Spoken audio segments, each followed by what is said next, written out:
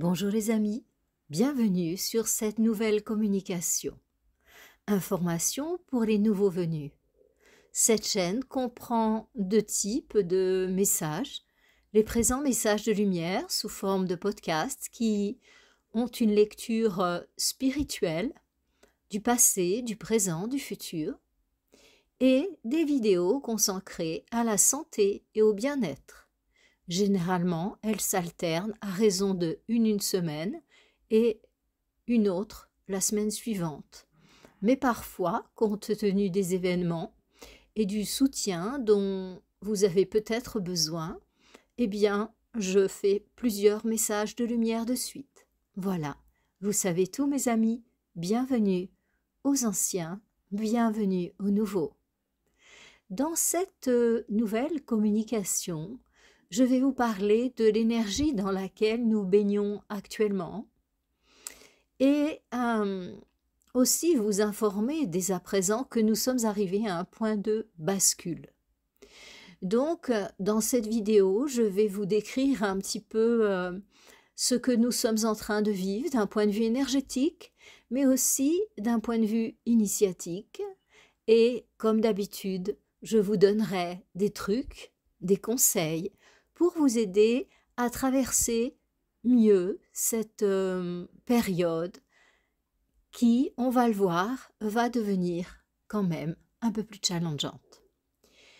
Eh bien, en fin de vidéo, je vous partagerai euh, mon positionnement personnel par rapport à cette euh, à ce qui est en train de se passer et aussi comment moi personnellement je m'y prépare et comment, personnellement, je, je fais de mon mieux pour maintenir mon énergie élevée. Voilà. Eh bien, si cela vous intéresse, bienvenue.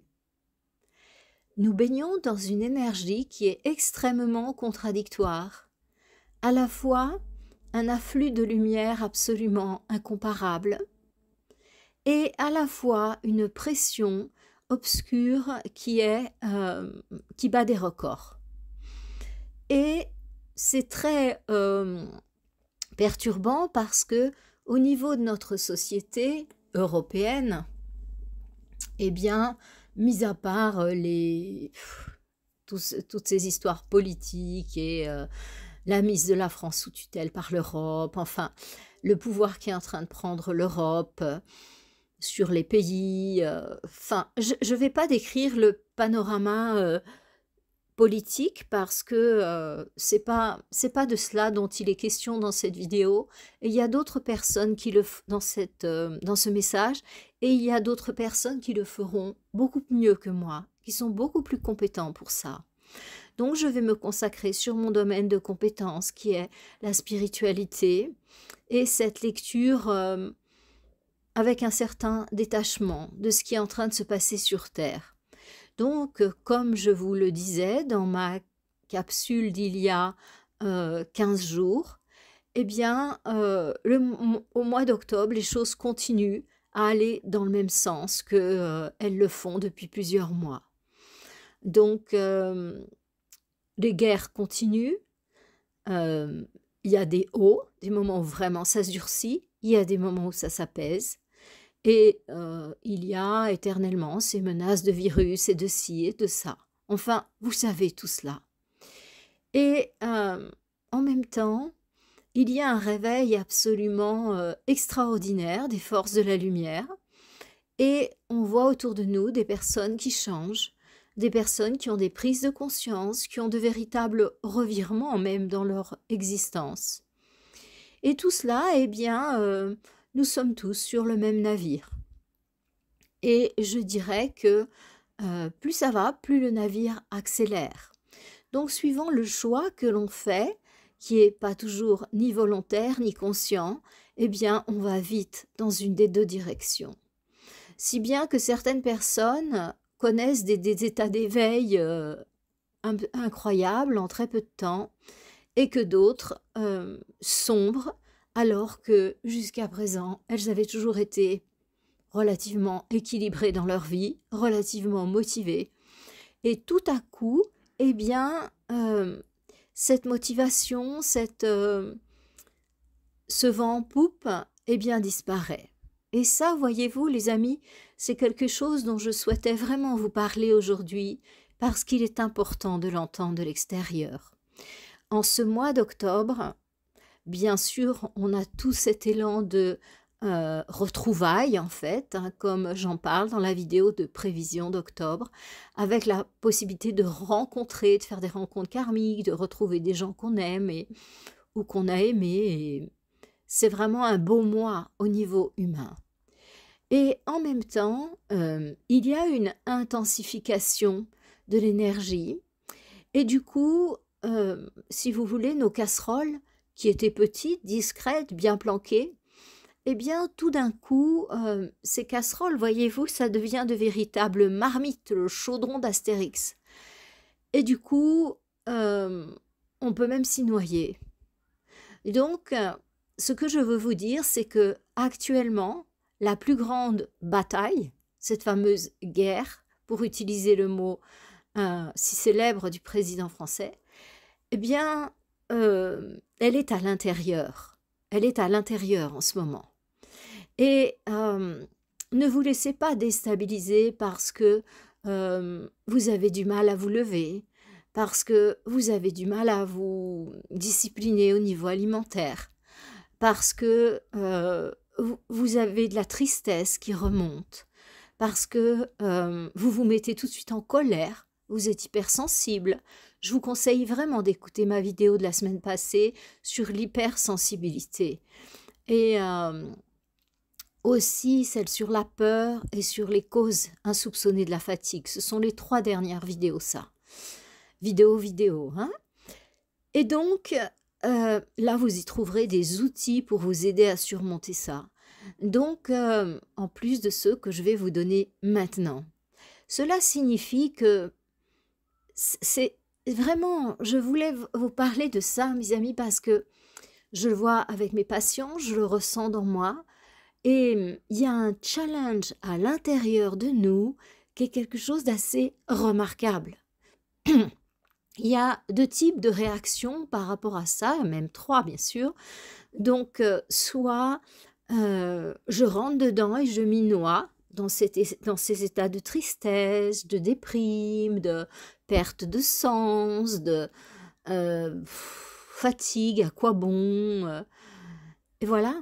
Soit je suis dans, le déni, c'est-à-dire je ne veux pas en faire, je ne veux pas en entendre parler, donc je fais plus de sport, je bois plus, je fais plus en fait.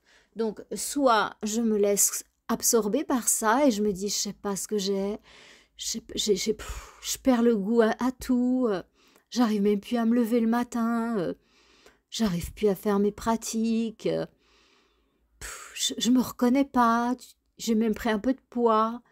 Et mmh, voilà. Donc, soit on est là-dedans, c'est-à-dire que on se laisse absorber par l'état.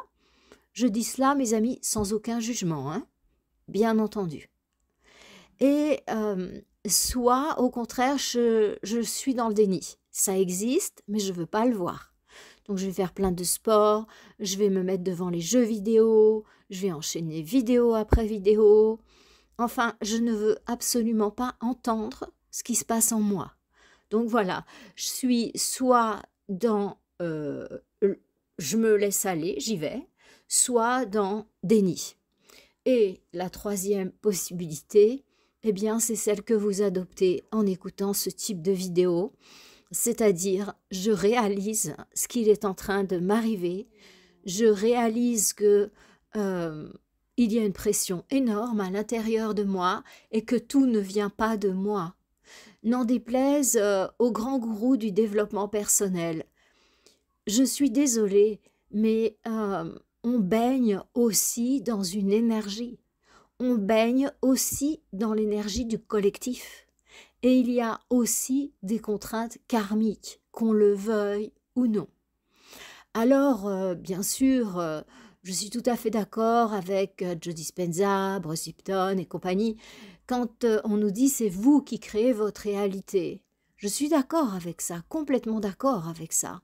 Mais euh, je dirais qu'il y a quand même certains paramètres qui font que euh, ben, si on est un être humain, on va continuer à marcher sur Terre.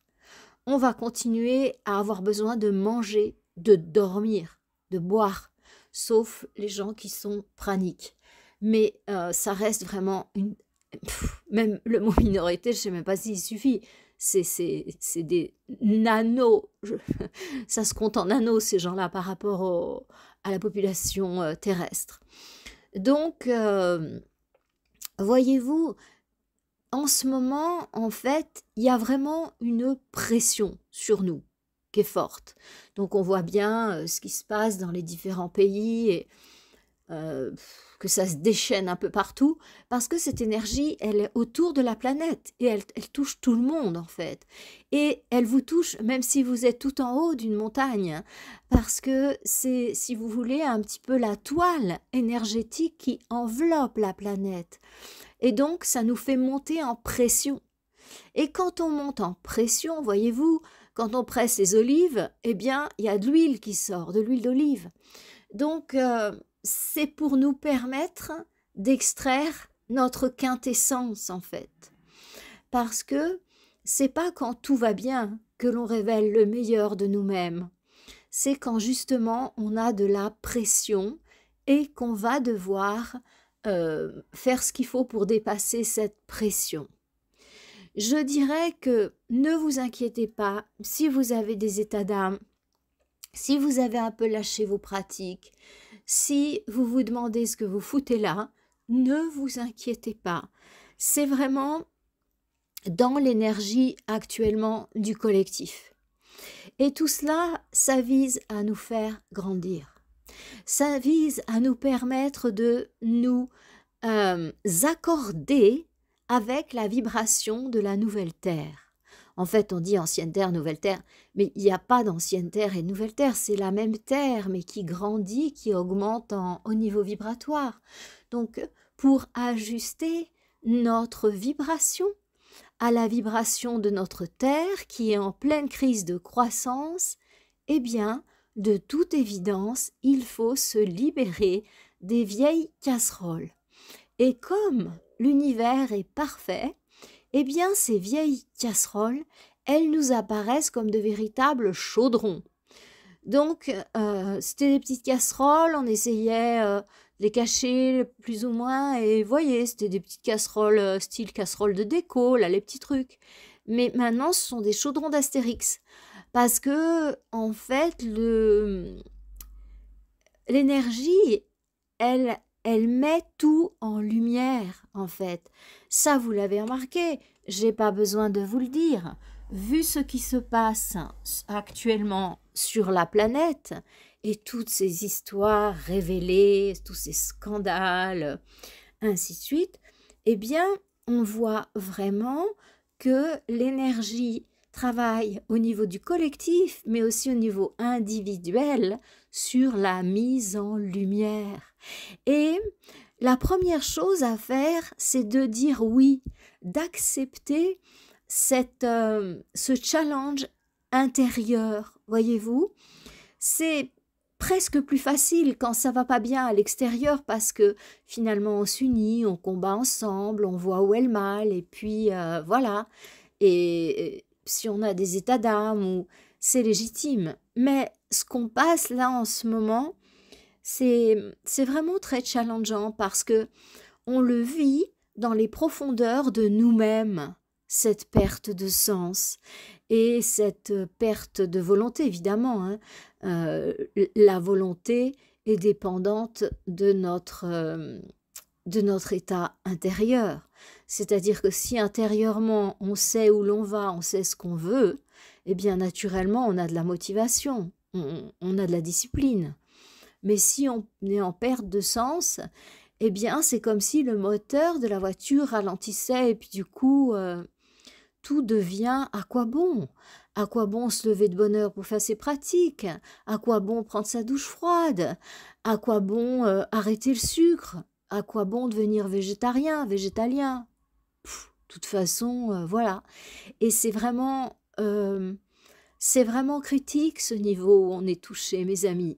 Et vraiment, vraiment, je souhaite que vous le réalisiez et partagez largement cette vidéo au moins à trois amis, cinq amis, parce que pour que les gens réalisent, mais non, ça vient pas de toi, c'est une véritable énergie qui travaille sur le collectif.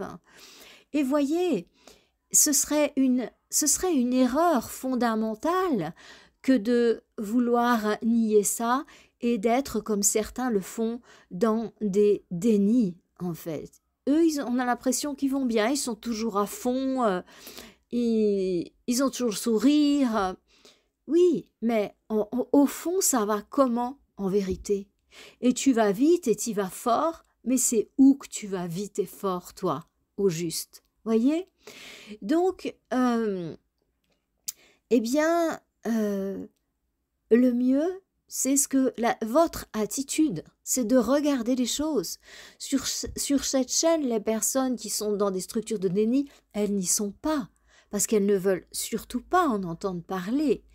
Et euh, donc, vous, mes, amis, vous êtes soit euh, vous y êtes rentré un peu trop, et du coup, on va voir ensemble comment, comment réagir. Et soit, eh bien, vous regardez ça avec du recul et vous dites ah oui, c'est vrai, c'est vrai qu'il m'arrive ça et, et c'est vrai qu'autour de moi, je vois pas mal de gens en perte de sens.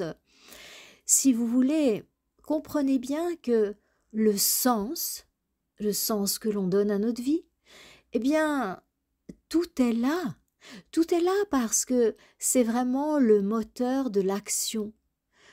Quand on a un objectif précis, pour les gens spirituels, ça va être révéler leur nature qui est lumière. Certains appelleront ça se réaliser, atteindre le samadhi ou euh, devenir un Bouddha, ou, suivant les traditions. Mais euh, à partir de ce moment-là, la personne, elle va se donner les moyens. Elle va se lever le matin pour faire ses pratiques. Elle va faire son jour de jeûne, elle va faire ses criasses. Eh, voyez, donc, mais à partir du moment où on est en perte de sens, on fait plus rien. Donc, ne luttez pas contre vous parce que vous êtes un peu déprimé, parce que euh, vous mangez, vous vous forcez un peu trop sur le chocolat, sur le café, sur le saucisson. Non, c'est pas là que la, c'est pas là qu'il est le gouvernail, voyez? Euh, le centre de commande, c'est vraiment de retrouver le, ce que vous êtes venu faire sur Terre. Et il n'y a pas de doigt de mesure. Nous venons sur Terre pour vivre l'expérience de l'incarnation terrestre et surtout pour nous en enrichir et pour qu'à terme nous puissions retrouver notre nature qui est lumière, qui est pur amour, pure lumière, pure conscience. Tout le reste n'a aucune valeur. Au terme de cette existence terrestre, vous n'emmènerez pas vos possessions physiques, vous n'emmènerez rien de matériel. Ce que vous emmènerez, au terme de cette existence physique, eh bien, ce sont vos expériences, c'est votre niveau vibratoire, c'est le pourcentage de reconnexion que vous avez réussi à acquérir. Ce sont tous les actes d'amour, de bienveillance que vous avez faits. Ah oui, ça vous l'emporterez avec vous, il n'y a aucun doute. D'accord? Donc, maintenant, eh bien, voyez-vous, cette semaine, je vous demande de vous observer. De vous observer et euh, quand vous vous tapez cette plaque de chocolat, eh bien, mais de quoi vous manquez au juste? Probablement le sucre, hein, vous connaissez euh, l'adage l'adage euh, anglophone, love substitute. Donc, le love substitute. C'est un substitut de l'amour en fait. Donc, euh, eh bien, où cherchez-vous l'amour? Et là aussi, là aussi, on, on, est dans cet écueil. Je cherche l'amour dans l'autre. mais quel autre? Cet humain, avec toute sa charge émotionnelle, avec toutes ses fausses croyances, avec tout ce vécu.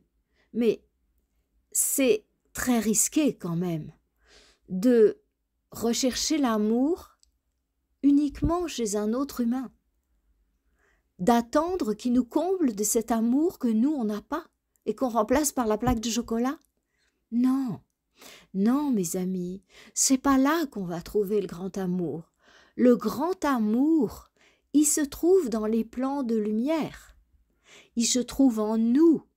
Il se trouve en nous parce que nous aussi, nous sommes des êtres de lumière. Et ceux qui travaillent en reconnexion avec moi savent que c'est vraiment mon cheval de bataille, de vous aider à vous reconnecter à vous-même. Quand je dis vous-même, je parle de votre partie lumière. À partir de ce point de vue, tout devient clair, tout devient amour, conscience, lumière. Et ne luttez plus contre cette personnalité qui se débat, qui est perdue. Non, non, non. Le but de la vie de tout être humain, c'est de s'éveiller, c'est de retourner à ce paradis dont nous venons. Non, non, non, c'est pas d'être le plus riche de la ville. Non, c'est pas d'avoir la plus belle voiture. Non, c'est pas d'avoir quinze enfants. Non. Tout ça, c'est magnifique, c'est l'expérience terrestre, c'est la richesse. Je ne le renie pas. Et ça fait partie du jeu. Mais je veux dire que euh, l'essence du jeu, elle n'est pas là. L'essence du jeu, c'est qu'est-ce que j'ai appris dans cette incarnation et à quel point j'ai fait monter ma vibration dans cette incarnation. C'est ça le jeu, c'est ça. Ne vous perdez pas avec tout ce qui se passe à l'extérieur, y compris euh, les limitations matérielles. Non, parce que à partir d'un certain plan, vous n'avez plus ces limitations, puisque vous devenez le créateur de votre réalité avec les contraintes dont j'ai parlé, bien sûr. Et pourquoi sommes-nous affectés par cette énergie? Eh bien, parce que, voyez-vous, on a une alimentation qui est plus ou moins bien. Euh, la majorité ont des rythmes de sommeil qui sont décalés. C'est-à-dire, les gens vont se coucher à 11 heures, minuit. Euh. Bon, quand on a des enfants petits, euh, ça, je fais une parenthèse parce que les bébés euh, et les nuits, euh, voilà. Mais c'est compensé par l'amour qu'on leur porte. Je dis pas que l'amour entre les humains n'est pas ce qu'il y a de plus beau, mais ce que je dis, c'est que on ne peut pas rechercher dans l'autre ce que l'on n'a pas en nous-mêmes. Et l'important est de comprendre que ce qui nourrit, nous nourrit le plus en termes d'amour, c'est l'amour que l'on donne. Et celui-là, on a la maîtrise dessus. C'est pas l'amour qu'on reçoit. Celui qui nous nourrit le plus, faites l'expérience, c'est l'amour que l'on donne. Et ça, c'est euh, vraiment très sûr, parce que c'est nous qui le donnons, parce qu'on a les cartes en main. Si vous attendez que votre enfant rentre et puis vous sourit, vous, se jette à votre cou et pour vous sentir heureuse, comblée d'amour, ou bien que votre mari ou votre femme en fasse ainsi, euh, eh, c'est risqué, c'est risqué. Prenez ce que les autres vous donnent comme une, euh, un cadeau, mais sans attente. Les attentes, mes amis, tuent l'amour les attentes que vous avez par rapport à vos enfants, par rapport à vos animaux de compagnie, par rapport à vos conjoints, par rapport à vos parents. Ce sont ces attentes-là qui tuent l'amour. C'est, c'est enlever toute la grâce à l'amour. Voyez? Et donc, le vrai amour, celui qui va vous nourrir en profondeur, c'est vraiment celui que vous allez donner. Entraînez-vous à donner de l'amour. Ça va faire vraiment beaucoup monter votre vibration sans rien attendre, entraînez-vous à donner bénévolement, à donner, sans rien attendre en retour. Regardez bien dans votre tête ce qui se passe. Et vous donnez, vous partagez, sans rien attendre. Mon Dieu, vous allez être tellement nourri, et votre vibration va tellement monter. Et ne dites pas oui, mais moi je donne toujours, personne me donne. Aïe, vous auriez, vous auriez rompu la grâce, en fait. Parce que la grâce, elle est dans le donner. Elle est, elle est dans le donner. Bien sûr qu'elle est aussi dans le recevoir, dans une certaine mesure. Mais ce que vous, vous pouvez maîtriser et sur quoi vous avez le pouvoir, c'est sur le fait de donner, pas sur le fait de recevoir.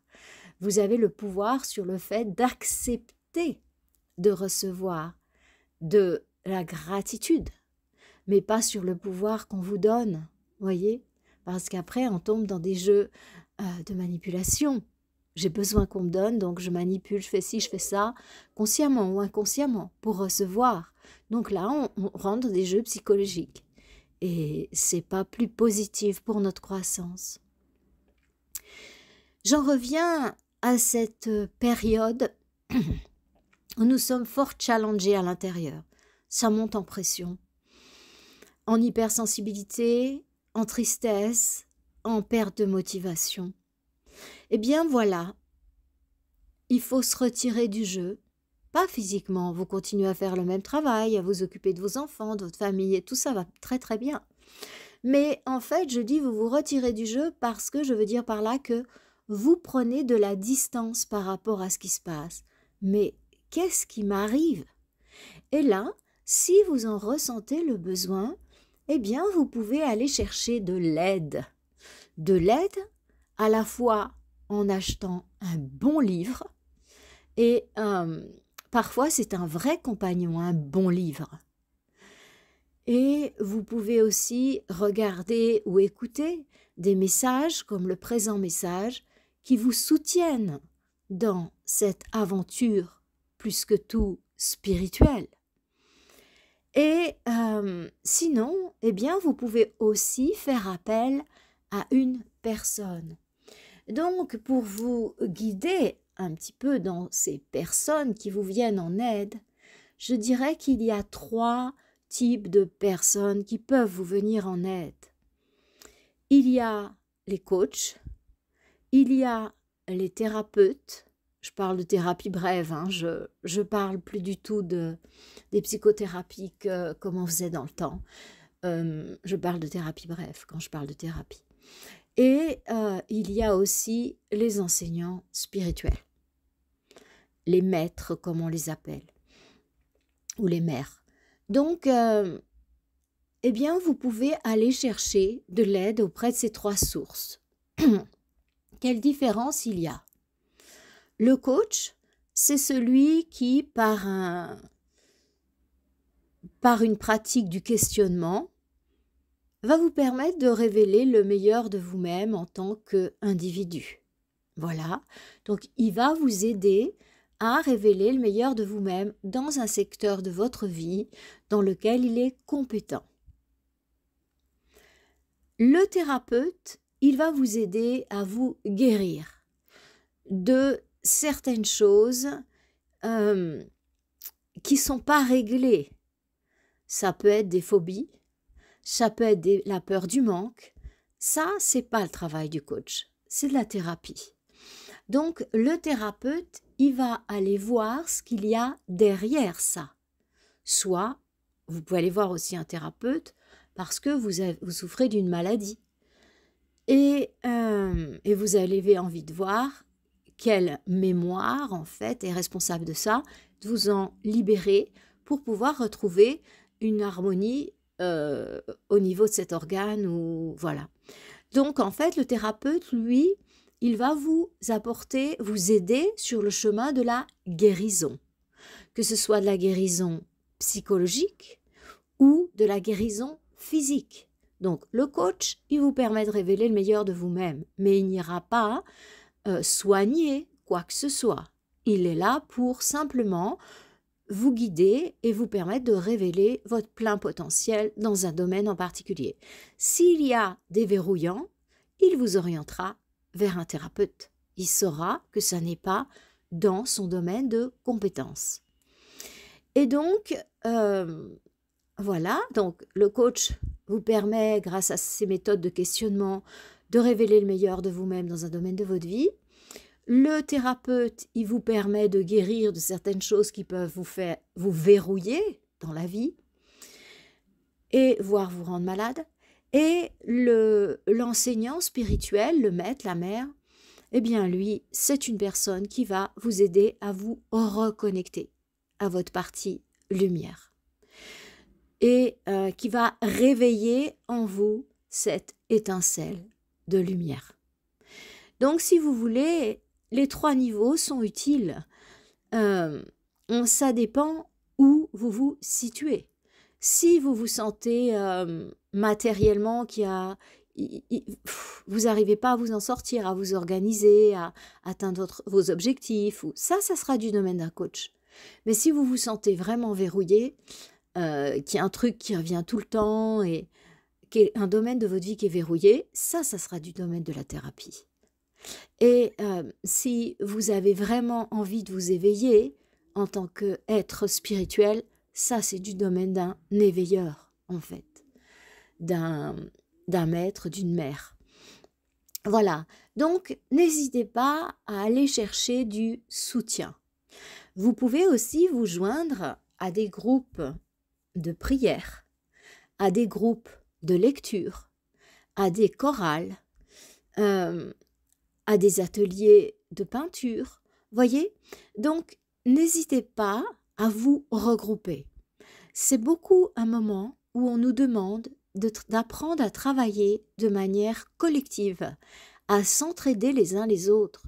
Parce que voyez cette pression qu'on reçoit inévitablement, tout le monde la sent. Soit on, est dans le déni, soit on, l'accueille, on regarde ça avec l'extérieur, soit on plonge. Mais en tout cas, elle est là. Et euh, en fait, le, Parfois, lorsqu'on est à plusieurs, on réalise ça, à toi aussi, toi aussi, et on prend des mesures. Bon, bah tiens, on va pas rester dans cet état-là, tiens, on va aller marcher. Et puis, euh, pourquoi pas, euh, tel jour, pourquoi on n'irait pas au concert Ou pourquoi, bah tiens, on va aller un petit peu à la salle de gym, on va au yoga, on va, on, on va se faire un resto. Voyez des choses comme ça. Donc le fait d'être à plusieurs, ça va vous aider beaucoup à passer cette, euh, ce moment. Alors vous allez me dire, oui, mais moi non, je suis toute seule. Oui, tu es toute seule parce que euh, tu ne t'es pas encore inscrite à une association dans ton quartier. Parce que des associations, j'aime autant vous dire qu'il y en a. Et nous avons tous nos talents. Donc peut-être que dans cette association, vous pouvez aller apporter quelque chose. Voyez? Voilà. Donc ça, je voulais vous le partager pour que vous ayez conscience que tranquille, ça vient pas de vous. Mais maintenant, il faut que vous preniez des mesures. À partir du moment où vous avez entendu ces paroles, c'est le moment pour vous de prendre des mesures et de sortir de la situation et de le regarder de l'extérieur. Oui, à l'intérieur, ça tire vraiment. J'ai des trucs qui me reviennent du passé. Euh, même de la culpabilité, euh, je me prends des colères, je pleure, je sais plus trop ce que je veux faire. Oui, mais ça c'est dans l'air du collectif. C'est pour vous permettre de révéler le meilleur de vous-même et de savoir où vous voulez vraiment aller. Mais les amis, si la vie vous demande ça, pourquoi vous voudriez aller courir en sens inverse? Non, non, non, allez dans le sens que la vie vous demande. Redéfinissez ce que vous avez envie de vivre sur Terre. Redéfinissez ça. Et une fois que vous aurez redéfini vraiment ce que vous êtes venu faire sur Terre, eh bien, à partir de là, dites-vous comment je vais faire? Comment je vais y arriver? Ah, c'est sûr qu'en ce moment sur Terre, ça va pas tout seul, hein mais vous verrez dans mon prochain message de lumière de novembre, on va dans quelques, on va dans pas longtemps du tout basculer. Donc beaucoup sont contents et puis disent ah oui ça fait tellement longtemps qu'on l'attendait, ouf enfin. Bah oui bah c'est maintenant. Hein. Donc euh, enfin pas maintenant tout de suite mais quand même dans vraiment pas longtemps du tout. Hein. Voilà maintenant on est en semaine sur le sur l'échiquier. Donc euh, voilà ça va basculer. Ouais ouais mais vous, ça ne vous empêche pas de garder votre intégrité intérieure, ça ne vous empêche pas de garder votre direction intérieure. Voyez? Il y a eu des gens euh, qui ont réussi à être heureux partout. quelles que soient les circonstances extérieures, parce que ce ne sont pas les circonstances extérieures qui définissent si on est heureux ou pas heureux, c'est notre lecture des circonstances extérieures qui va faire qu'on est heureux ou pas heureux. Et la première chose importante à faire, c'est de prendre du détachement, de regarder ça avec de la distance et de se dire hop hop hop, qu'est-ce que je suis en train d'apprendre là? Pourquoi je suis moi dans cette situation? Qu'est-ce que la vie m'apprend là? Et pas pourquoi moi, ta ta ta. Ça, c'est une perte de temps, ça. C'est l'autosabotage. Demandez-vous plutôt qu'est-ce que la vie m'apprend à travers cette situation? Et comme l'énergie est là pour nous pousser, nous pousser, nous pousser à grandir, eh bien, au lieu de vous noyer dans la situation Oh, pourquoi moi, encore moi, toujours moi, ma famille et tout, on est maudit. Non, essayez de comprendre qu'est-ce qu'il y a derrière cette situation qui se reproduit toujours? Si vous n'arrivez pas à vous en sortir, allez voir un thérapeute en thérapie brève. Ça peut être très rapide, la résolution de ça avec un support extérieur professionnel. Je vous le dis parce que je pratique la thérapie brève et je vois à quel point les personnes peuvent se libérer relativement rapidement. Donc, par rapport à ce scénario, vous avez cette pression intérieure importante. Et si vous vous y laissez aller, vous voyez même pas qu'il y a du soleil dans le ciel. Et justement, en ce moment, il y a beaucoup de soleil dans le ciel. C'est une métaphore. Hein donc, euh, il y a beaucoup de soleil dans le ciel, c'est-à-dire que les forces de la lumière nous tendent vraiment la main. Et si vous croyez aux anges, eh bien, euh, les anges font de véritables miracles en ce moment pour protéger ceux qu'ils aiment tant, les humains. Donc, voyez, nous avons à la fois un grand challenge à l'intérieur de nous, mais on a aussi beaucoup d'aide. Donc, mon conseil, c'est 1. Prenez du recul, regardez de l'extérieur. 2. Regroupez-vous, rencontrez des amis, allez au club de sport, au club de belote, au club d'échecs, au club de peinture, ce que vous voulez. Mais dites pas je suis tout seul, tout seul. Ça ne tient qu'à vous de vous inscrire à quelque chose. Voyez? Et euh, je dirais que euh, la troisième chose qui est très importante, c'est de se reconnecter, de se reconnecter à la lumière et de faire appel. Hmm, les anges, ils sont tellement proches de nous. Lisez ce livre euh, Enquête sur les anges gardiens. C'est un best-seller, vous le connaissez sans doute. Mais vraiment, c'est incroyable, c'est édifiant. Euh, comme les anges sont là et nous aident. Enfin, moi, j'ai vécu des expériences matérielles et physiques où j'ai vraiment soit été protégée, soit euh, quelque chose est venu dans ma vie. enfin, oui, c'était pas possible que ça apparaisse sur ma table à ce moment-là parce que tout était fermé. Donc, j'ai eu aussi bien des manifestations que des protections que je je sais toujours pas comment ça a pu passer. Hein. Voilà. Donc, vraiment, c'est un moment où il faut vous tourner vers les anges. Si vous y croyez pas, il n'y a pas de problème. Lisez le livre Enquête sur les anges gardiens et après, vous verrez si vous décidez d'y croire ou pas. C'est une enquête journalistique. Donc lisez-le, ne soyez pas fermés. Enfin, si vous êtes sur cette chaîne, c'est sûr que vous l'êtes pas. Mais lisez ça, lisez ça, et vous allez voir que vous allez arriver à vous tourner vers les anges. C'est le plus facile, parce qu'ils sont tout près de nous.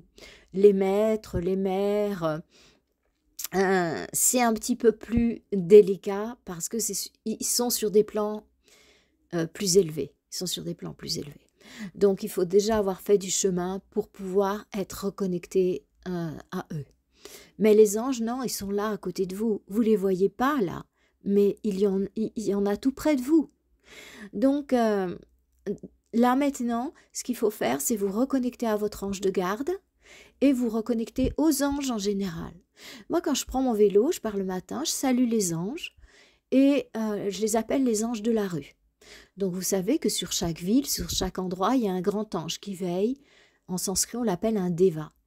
Et euh, donc, euh, déjà, je salue le deva qui veille sur la ville ou sur le lieu où je suis. Et puis ensuite, quand je monte sur mon vélo, et, et ben, je salue les anges de la rue. Et, et, je leur, et je me mets sous leur protection. Et, et parfois, en fait, j'ai tellement l'habitude de faire ça et euh, en fait, j'ai l'impression que je suis devenue amie avec eux. Et euh, je les sens autour de moi. Et du coup, euh, il fait gris et tout. Puis moi, je suis sur mon vélo, je suis tout sourire. Parce qu'en en fait, je suis tellement bien avec eux, voyez? Et donc, faites ça. Reconnectez-vous, reconnectez-vous. Alors, si vous avez du mal à les sentir dans la rue et tout, eh bien, vous pouvez aller dans la forêt ça, ça vous aidera peut-être plus. Mais je vous dis que même en pleine rue, il y a des anges. Sinon, ça se passerait vraiment pas comme ça. Hein. Ouais. Et puis, euh, par exemple, le grand euh, malheur des gens, c'est les supermarchés. Parce qu'ils disent Ah, les énergies d'un supermarché, c'est terrible et tout. Eh bien, non. Comme euh, je sais que dans chaque lieu, chaque lieu est sous la protection d'un ange, eh bien, quand je rentre dans un supermarché, je salue l'ange du lieu qui veille sur toutes ces créatures là dans ce lieu. Je dis pas qu'il y a des anges, il y a les autres aussi, mais moi il m'intéresse pas. Donc euh, je salue euh, l'ange qui veille sur ce lieu et, et ben, je lui dis que je me mets sous sa protection et tout. Et parfois si c'est un nouveau lieu, tout ça c'est vraiment sympa parce que je le découvre, on se découvre et euh, et je me balade dans les rayons comme ça avec mon air d'imbécile heureuse parce qu'en en fait les gens voient pas mais en fait, je, suis accompagnée. et c'est tellement, euh, c'est tellement agréable. Donc, voyez, restez pas dans cet état d'humeur, je sais pas, j'ai du mal à me lever, je bouffe du sucre. Non, non, non. Revenez, revenez au, meilleur de vous-même, reconnectez-vous aux anges. Vous allez voir, vous allez être tellement aidé, vous allez connaître la grâce, la grâce, la grâce, la grâce. Voilà, mes amis, c'est un, un message de grâce que je vous transmets dans ces moments challengeants de l'intérieur. C'est un petit peu spécial hein, quand on est challengé, de l'extérieur, l'intérieur comme ça. Mais voyez, on est tous unis, on est tous ensemble. Et si cette vidéo vous a plu et que vous avez envie vous aussi d'aider quelqu'un à se reconnecter aux anges, eh bien, euh, partagez-lui cette vidéo et peut-être qu'elle aura envie de faire comme moi, de parler aux anges quand elle part dans la rue et euh, c'est tellement agréable, tellement agréable. Et après, vous allez voir, euh, ça va vous aider à vous reconnecter aux élémentaux, aux gnomes, aux fées et voilà, entre autres. aux sylphides, aux salamandres et à tout ce petit peuple. Mais déjà commencer par les plus accessibles, ce sont les anges.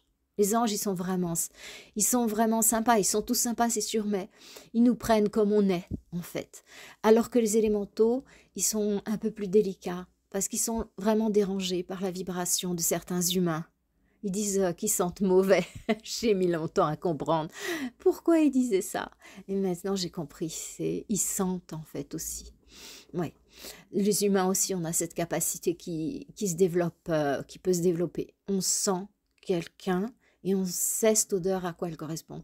C'est sa note dominante en fait. Elle vient sous forme de vibration, de couleur dans l'aura, mais elle vient aussi sous forme d'odeur. Ouais. Enfin voilà mes amis. Donc partagez généreusement et ensemble faisons appel à nos amis les anges qui viennent enchanter nos vies. Quoi qu'il se passe autour, vous avez compris, c'est pas ce qui se passe autour l'intérieur, c'est comment nous nous le recevons. Et comme ça, on sera plus fort nous-mêmes, mais aussi on pourra aussi demander à des anges d'aider des personnes qu'on aime. Et ça, c'est précieux aussi, voyez, de protéger les enfants, de protéger la famille, protéger la voiture, protéger la maison. Ils sont tellement adorables, mais il faut y faire appel. Si vous n'y faites pas appel, ils n'ont pas le droit d'intervenir, sauf si on veut vous tuer avant l'heure. C'est la seule possibilité. Voilà mes amis, eh bien, partagez, partagez, partagez. Et vous avez vu comme je me fais shadow banner. Hein.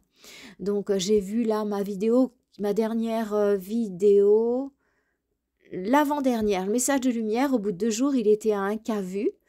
Et quand on, quand on regardait, il y avait marqué aucune vue. Vous voyez, il fallait l'ouvrir pour voir, euh, voilà. Donc, euh, et je vois qu'elle n'est pas proposée dans les algorithmes et tout. Donc, vraiment, soutenez la chaîne, soutenez-nous, soutenez cette lumière. Mettez un pouce, déposez un commentaire, même si c'est juste un pouce, un cœur, ce que vous voulez. Et moi, ça me soutient aussi intérieurement. Eh oui, cette chaîne est complètement bénévole. Donc ça, ça me soutient, vos petits partages, vos petits cœurs, vos petits likes. Et euh, aussi, abonnez-vous. Abonnez-vous parce que là, euh, ça, fait monter la chaîne dans les algorithmes et c'est pas suffisant de s'abonner. Une fois que vous avez marqué abonner, il faut aussi cliquer sur la petite cloche pour recevoir les publications. Si vous n'appuyez pas sur la cloche, vous n'aurez pas les publications. Voilà. Dernière information, nous avons un jeûne qui commence le 31. Donc le 31 octobre, c'est le jeûne pour la. Il est ouvert aux débutants, il n'y a que trois jours de jeûne. Donc on fait un jour de jus, trois jours de jeûne, un jour de jus. Vous l'avez sur mon site ou si vous voulez des infos, contactez-moi. Vous avez mon email et mon WhatsApp en dessous euh, dans la description. N'hésitez pas si vous êtes intéressé pour venir nourrir la paix tout en renonçant à manger. C'est vraiment très très puissant. Eh bien, venez vous joindre à nous et aussi ça vous permettra de faire partie d'une communauté spirituelle bienveillante. Voilà. Mes amis, je vous souhaite une lumineuse semaine et je me réjouis de partager à nouveau dimanche prochain. Namasté. Et bon voyage avec les anges.